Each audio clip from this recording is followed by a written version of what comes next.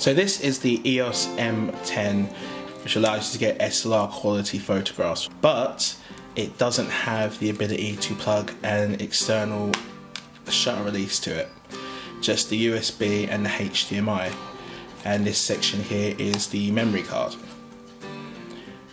There is no intervalometer option inside the camera itself in the menus or in the options. That there is just a screw for a grip.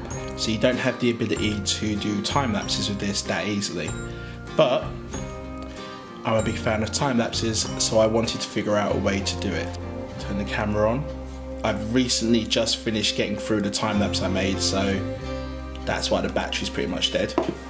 These settings are quite general, but if you want to make a time lapse, they're pretty useful. Generally, when I do time lapses, I'm in motion, so having F16 or F22 helps because that way you're sure that most things are in focus.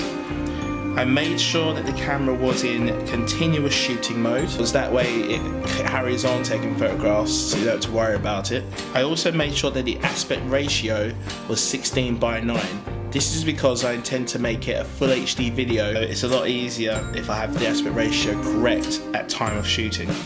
Now I left the quality on large. To be honest, I wouldn't suggest this. You may want to go down to medium if you're just using these, or even small if you're just using these for the time lapse and nothing else.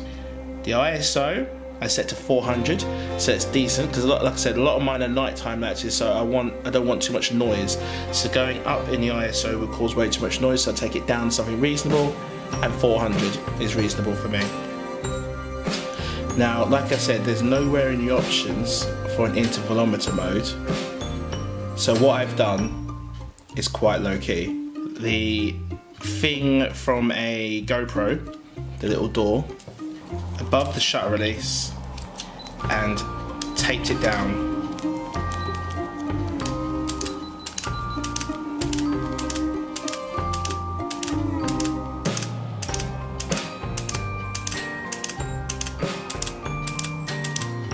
And to stop it, you just remove it. And with that, you're able to get time lapses, the Canon EOS M10.